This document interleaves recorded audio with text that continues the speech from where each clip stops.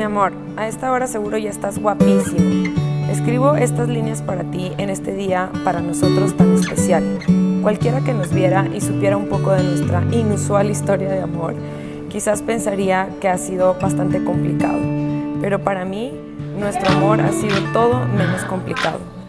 Ya lista, madre. Lista, mi amor, para este momento.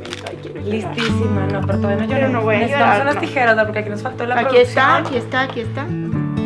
Pues mirando cada momento que hemos compartido, cada desafío, cada prueba, no hago más que ver la mano de Dios y el amor de Dios detrás de todo. ¿Qué más sino su amor para nosotros, lo que nos ha unido? Te amo por siempre. Postdata, le ganaste a todos. Le gané a todos. Muy querido Lisandro y Carol, el señalado por la providencia divina ha llegado, porque en el primer momento en que decidió darte la vida a ti Lisandro y a ti Carol, al invi- invitar a sus padres para que fueran co-creadores junto con él, ya los había destinado desde la eternidad para que fueran matrimonio cristiano. Prometo creer en ti, impulsarte siempre y verte grande. Prometo elegir el perdón en los momentos de error y faltas. Prometo llevarte conmigo siempre, en mis pensamientos, en mis decisiones y en mi corazón. Prometo aportar mi alegría a nuestro hogar, a nuestra relación y que sea parte fundamental de nuestra familia.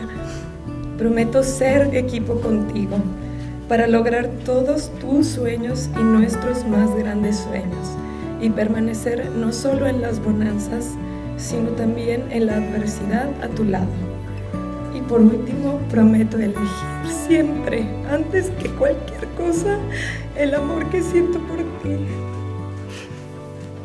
Carolina, yo prometo el amor incondicional que siempre te he dicho, apoyarte en todos tus proyectos, en el, en el equipo que vamos a emprender, en la familia que vamos a formar. Yo prometo serte fiel, honesto,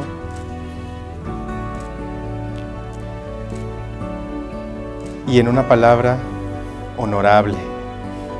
Y sobre todo ser esa ilusión siempre para ti, mantener la ilusión siempre, la llama, la elección del amor día tras día.